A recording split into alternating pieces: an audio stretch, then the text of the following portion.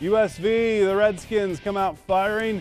It is Curtis Ulenek hitting the three. 18 to 2, Redskin advantage. USV looking to close the gap. Brady Hipsher finds an open Quinn Sanders for two. Then Hipsher connects with Wyatt Daniels. He hits the three. USV's within 11 right before the half, though. Tyler Schlarman finds a wide open lane and St. Henry extends their lead. Second half, USV mounts a comeback. Daniels hits one of his seven threes in the half, cuts the lead to seven, but too much St. Henry.